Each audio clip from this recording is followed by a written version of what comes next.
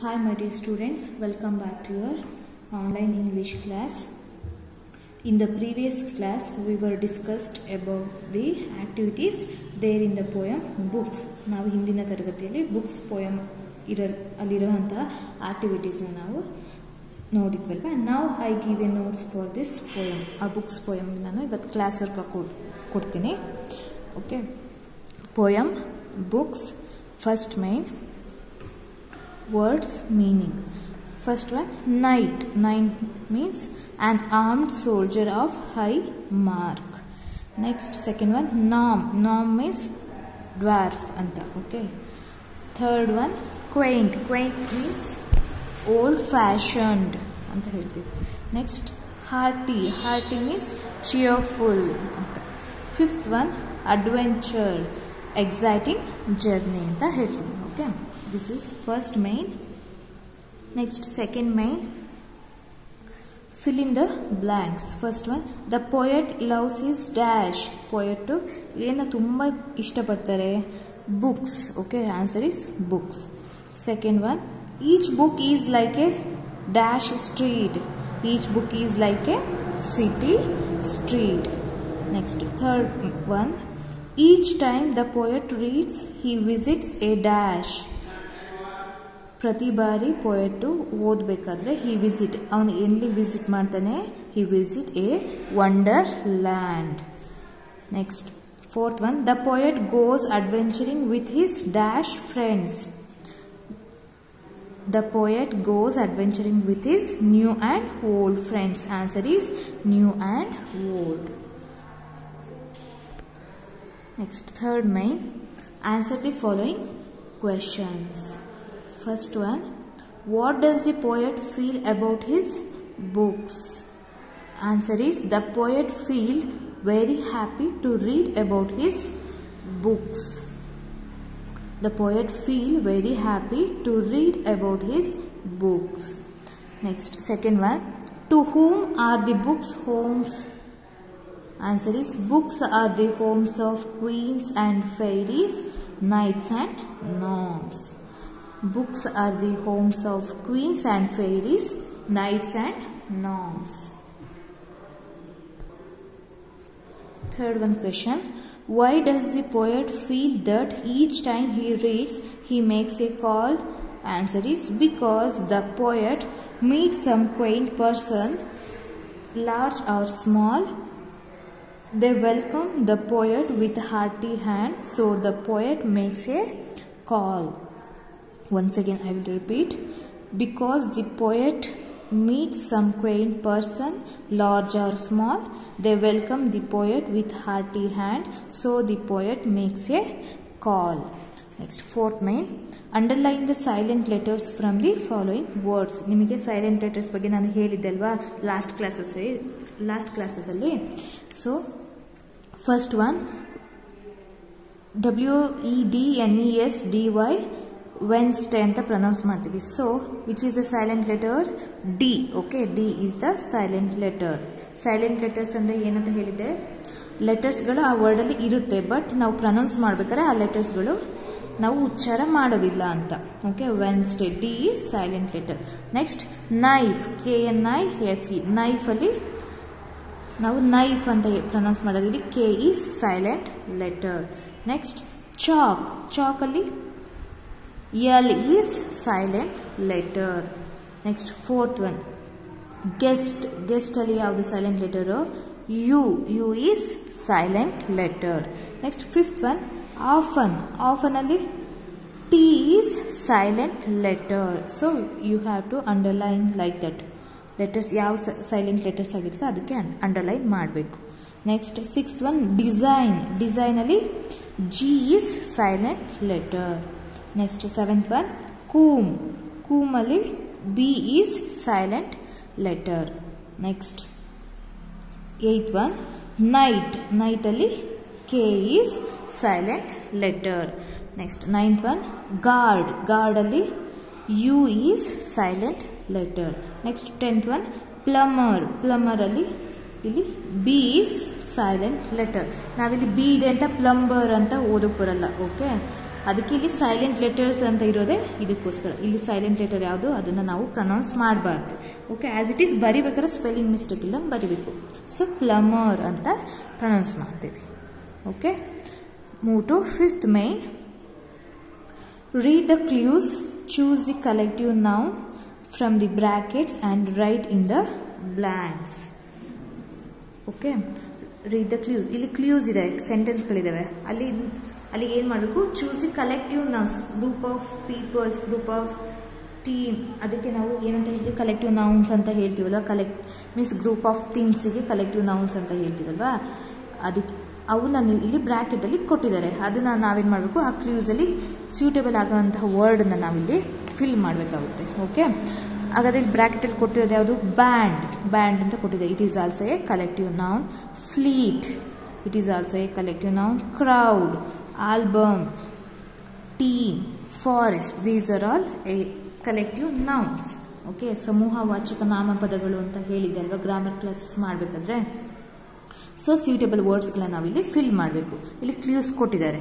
First one a large group of people what we call that large ತುಂಬ, ಜನಸಾಗರ ಅಂತ ಹೇಳ್ತೀವಲ್ವಾ? ತುಂಬ ಜನ ಒಂದೇ ಕಡೆ ಸೇರ್ಕೊಂಡಿರ್ತಾರೆ. ಗ್ರೂಪ್ ಇರುತ್ತೆ. ಅದಕ್ಕೆ ನಾವು ಏನಂತ ಕರಿತೀವಿ? ಕ್ರೌಡ್ ಅಂತ ಹೇಳ್ತೀವಿ C R O W D crowd ಅಂತ ಹೇಳ್ತೀವಿ. Second one a group of people playing a game together ಒಬ್ಬರು ಒಂದು ಜನರ ಗುಂಪು ಆಟನ ಜೊತೆಗೆ ಒಟ್ಟಿಗೆ ಆಡ್ತಾ ಇದ್ದಾರೆ. ಅದಕ್ಕೆ ಏನಂತ ಹೇಳ್ತೀವಿ? ಟೀಮ್ ಅಂತ ಹೇಳ್ತೀವಿ. ಟಿ ಎ ಎಂ ಟೀಮ್ ಅಂತ. ತಂಡ ಅಂತ ಹೇಳ್ತಾರೆ. Next a group of people playing music together ಏನು ಒಂದು ಗ್ರೂಪ್ ಆಫ್ ಜನರ ಸಮೂಹ ಏನಾಗುತ್ತೆ ಮ್ಯೂಸಿಕ್ನ ಜೊತೆಗೆ ಹಾಡ್ತಾ ಇದ್ದಾರೆ, ಬಾರಿಸ್ತಾ ಇದ್ದಾರೆ. ಅದಕ್ಕೆ ಎಂತ ಹೇಳ್ತೀವಿ? ಬ್ಯಾಂಡ್ ಅಂತ ಹೇಳ್ತೀವಿ. B A N D band ಅಂತ ಹೇಳ್ತೀವಿ. Next one a collection of photographs in a book is called dash ಅಂದರೆ ಫೋಟೋಗ್ರಾಫ್ ಫೋಟೋಸ್ಗಳನ್ನೆಲ್ಲ ಒಂದೇ ಬುಕ್ಕಲ್ಲಿ ಕಲೆಕ್ಟ್ ಮಾಡೋದಕ್ಕೆ ಏನಂತ ಹೇಳ್ತೀವಿ? ಆಲ್ಬಮ್ ಅಂತ ಹೇಳ್ತೀವಿ ಓಕೆ ಆಲ್ಬಮ್ ಅಂತ. ಹೇಳ್ತೀವಿ. So next one a large group of trees what we call ದೊಡ್ಡ ದೊಡ್ಡ ಮರಗಳ ಗ್ರೂಪ್ಸ್ ಇರ್ತವಲ್ವ? ಅದಕ್ಕೆ ನಾವು ಏನಂತ ಹೇಳ್ತೀವಿ? ಫಾರೆಸ್ಟ್ ಅಂತ ಹೇಳ್ತೀವಿ. F O R E S T forest ಅಂತ ಹೇಳ್ತೀವಿ. Next sixth one a group of sheeps ಅಂದರೆ ಹಡಗುಗಳ ಓಕೆ ಹಡಗುಗಳ ಗುಂಪಿಗೆ ನಾವು ಏನಂತ ಹೇಳ್ತೀವಿ? ಫ್ಲೀಟ್ ಅಂತ ಹೇಳ್ತೀವಿ okay a group of sheeps is called as fleet next move to sixth main homonyms and their meanings homonyms ಅಥವಾ ಹೋಮೋಫೋನ್ಸ್ ಬಗ್ಗೆ ಹೇಳಿದ್ದೆ ಅಲ್ವ ನಾನು? ಸೇಮ್ ಪ್ರೊನೌನ್ಸಿಯೇಷನ್ ಇರುತ್ತೆ ಡಿಫ್ರೆಂಟ್ ಮೀನಿಂಗ್ ಇರುತ್ತೆ ಡಿಫ್ರೆಂಟ್ ಸ್ಪೆಲ್ಲಿಂಗ್ಸ್ ಕೂಡ ಇರುತ್ತೆ. ಅದಕ್ಕೆ ನಾವು ಹೋಮೋನಿಮ್ಸ್ ಅಂತ ಹೇಳಿದ್ದೆ ಅಲ್ವಾ? ಸೊ ಹಾಗಾದರೆ ಮೀನಿಂಗ್ಸ್ ನೋಡೋಣ ಕೆಲವು. ಫಸ್ಟ್ ಒನ್ ಆರ್ ಅಂತ ಇದೆ. Okay here also are but same pronunciation spelling different ಇದೆ ಮೀನಿಂಗ್ ಕೂಡ ಡಿಫ್ರೆಂಟ್ ಆಗಿರುತ್ತೆ. ಅದಕ್ಕೆ ಹೋಮೋಫೋನ್ಸ್ ಅಥವಾ ಹೋಮೋನಿಮ್ಸ್ ಅಂತ ಹೇಳ್ತೀವಿ. ಇಲ್ಲಿ H O U R hour means ಗಂಟೆ ಅಂತ ಹೇಳ್ತೀವಿ, ಸಮಯ, ಗಂಟೆ ಅಂತ ಹೇಳ್ತೀವಿ. Next O U R our means ನಮ್ಮ ಅಂತ ಹೇಳ್ತೀವಿ. Okay second one see S E see means ನೋಡು ಲುಕ್ ಅಂತ ಆಗುತ್ತೆ. S E S sea means ಸಮುದ್ರ, ಸಾಗರ ಅಂತ ಹೇಳ್ತೀವಲ್ವಾ? Sea next third one F L O W E R flower ಅಂತ ಹೇಳ್ತೀವಿ. ಫ್ಲಾರ್ ಮೀನ್ಸ್ ಹೂವು ಅಂತ. F L O U R flour flour means ಹಿಟ್ಟು ಅಂತ ಹೇಳ್ತೀವಿ. ಫ್ಲೋರ್ ಮೀನ್ಸ್ ಹಿಟ್ಟಿನ ಗಿರಣಿ ಅಂತೆಲ್ಲ ಹೇಳ್ತೀವಲ್ಲ? Like that next fourth one hare ಅಂತ ಹೇಳ್ತೀವಿ. H A R E hare means rabbit ಮೊಲ ಅಂತ ಹೇಳ್ತೀವಿ. H A I R hair means ಕೂದಲು ಅಂತ ಹೇಳ್ತೀವಿ. Okay next fifth one knight knight means K N I G H T night means ಸೈನಿಕ soldier Sardar ಅಂತ ಹೇಳ್ತೀವಿ. ಅದೇ N I G H T night means ರಾತ್ರಿ ಅಂತ ಹೇಳ್ತೀವಿ. ಓಕೆ ನಿಮಗೆ ಇದು ಅರ್ಥ ಇದೆ ಅಂತ ಅಂದ್ಕೊಳ್ತೀನಿ ಹೋಮೋನಿಮ್ಸ್ ಅಥವಾ ಹೋಮೋಫೋನ್ಸ್ ಅಂದರೆ ಏನಂತಲ್ವಾ ಏನು? Same pronunciation different spelling and different meanings ಇರುತ್ತೆ. ಅದಕ್ಕೆ ನಾವು ಹೋಮೋನಿಮ್ಸ್ ಅಥವಾ ಹೋಮೋಫೋನ್ಸ್ ಅಂತ ಹೇಳ್ತೀವಿ. Okay this is your class work children you have to write neatly in your class work notebook. Okay children time ಇನ್ನೂ ಇರೋದ್ರಿಂದ ಇರೋದ್ರಿಂದ ಇನ್ನು ನೆಕ್ಸ್ಟ್ ಲೆಸನ್ನ ನಾನು ಸ್ಟಾರ್ಟ್ ಮಾಡ್ತೀನಿ. Okay Rover Mister Smith's best friend ಅಂತ. Okay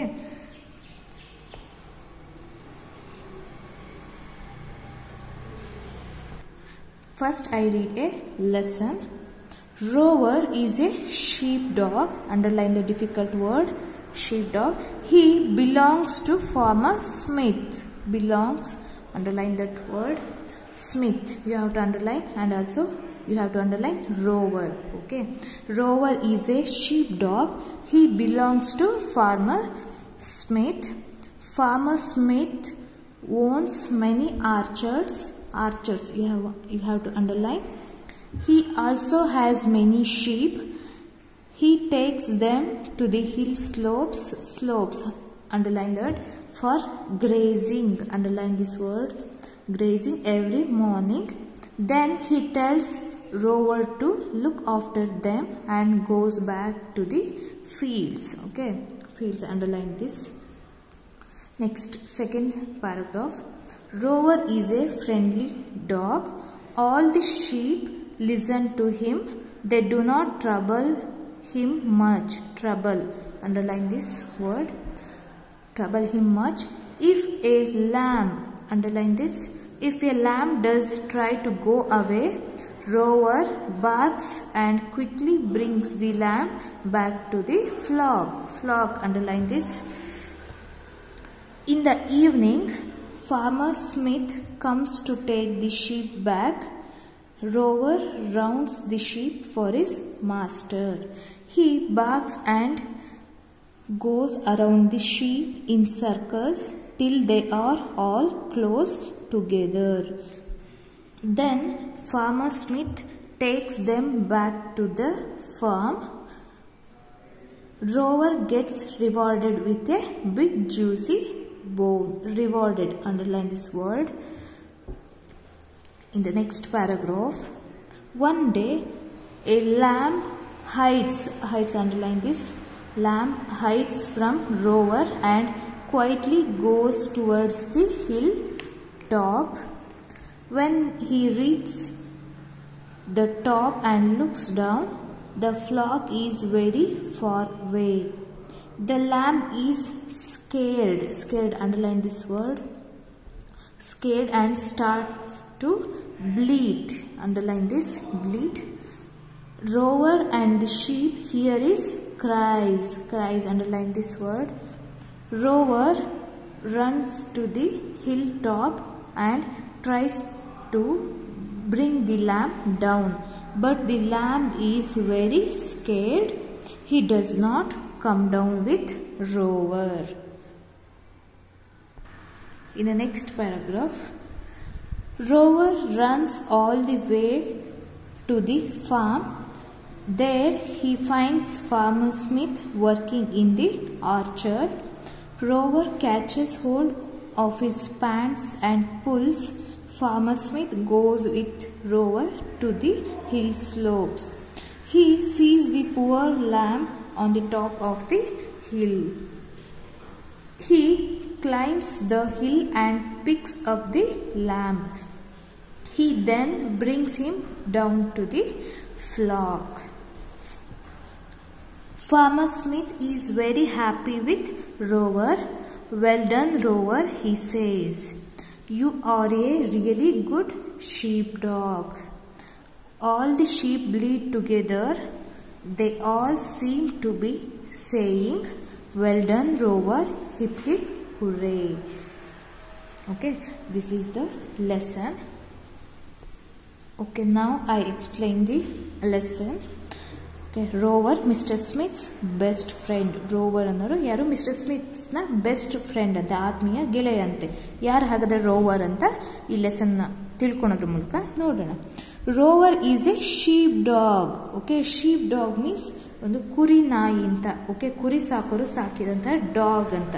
ಅದಕ್ಕೆ ನಾವು ಶೀಪ್ ಡಾಗ್ ಅಂತ ಹೇಳ್ತೀವಿ.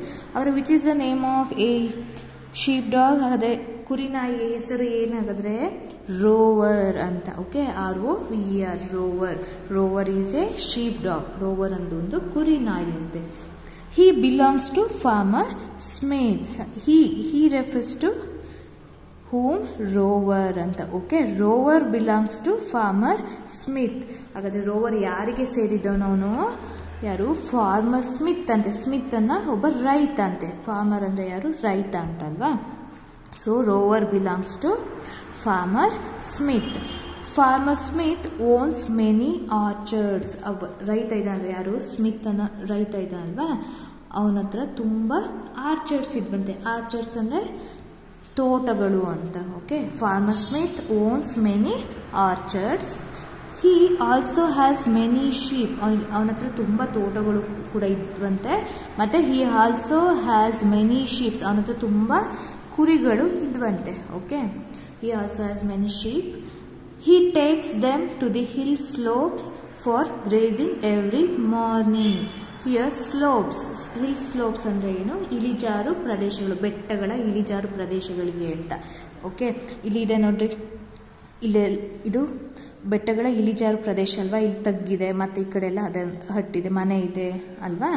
ಸೊ ಹಿಲ್ ಸ್ಲೋಪ್ಸ್ ಅಂದರೆ ಬೆಟ್ಟಗಳ ಇಳಿಜಾರು ಪ್ರದೇಶಕ್ಕೆ ಪ್ರತಿದಿನ ಬೆಳಿಗ್ಗೆ every morning he takes them to hill slope for grazing grazing means ಮೇಯಿಸೋದು ಅಂತ ಓಕೆ ಅವನು ಪ್ರತಿದಿನ ತನ್ನ ಎಲ್ಲ ಕುರಿಗಳನ್ನು ಕೂಡ ಪ್ರತಿದಿನ ಬೆಳಿಗ್ಗೆ ತನ್ನ ಎಲ್ಲ ಕುರಿಗಳನ್ನ ಕೂಡ ಬೆಟ್ಟಗಳ ಇಳಿಜ, ಇಳಿಜಾರು ಪ್ರದೇಶಕ್ಕೆ ಮೇಯಿಸೋದಿಕ್ಕೆ ಅಂತ ಅವನು ಯಾರು ಕರ್ಕೊಂಡು ಹೋಗ್ತಾ ಇದ್ದ. ಯಾರು ಕರ್ಕೊಂಡು ಹೋಗ್ತಿದ್ರು farmer Smith okay then he tells Rover to look after them and goes back to the field ಅವನಿಗೆ ತುಂಬ ಆರ್ಚರ್ಸ್ ಅವನ ಹತ್ರ ತುಂಬ ತೋಟಗಳು ಕೂಡ ಇದ್ದು, ಕುರಿಗಳು ಇದ್ದು ಅಂತ ಹೇಳಿದವಲ್ಲ?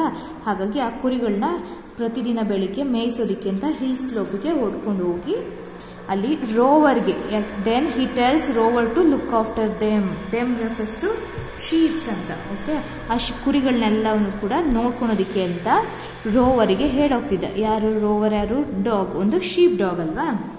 ಒಂದು ಕುರಿ ನಾಯಿ ಅಂತ. ಡಾಗ್ ಹೆಸರೇನು? ರೋವರ್ ಅಂತ. ಅದಕ್ಕೆ ಅವುಗಳನ್ನೆಲ್ಲ ನೋಡ್ಕೋ ಅಂತ ಬಿಟ್ಟು ವಾಪಸ್ ಎಲ್ಲಿ ಬರ್ತಾ ಇದ್ದ? He was goes back to the fields fields ಅಂದರೆ ಹೊಲ, ಗದ್ದೆಗಳಿಗೆ ವಾಪಸ್ ಅವನು ತನ್ನ ಕೆಲಸ ಮಾಡೋದಕ್ಕೆ ಅಂತ ವಾಪಸ್ ಬರ್ತಾ ಇದ್ದ. ಓಕೆ ಸೊ ನಾವು I stop your children today's homework you have to write first paragraph okay in your H W first paragraph ಇದೆಯಲ್ಲ? ಇದನ್ನು ನಿಮ್ಮ ಹೋಮ್ವರ್ಕ್ ಬುಕ್ಕಲ್ಲಿ ಬರೀರಿ. Okay in the next class I will continue the lesson okay see you in the next class. Thank you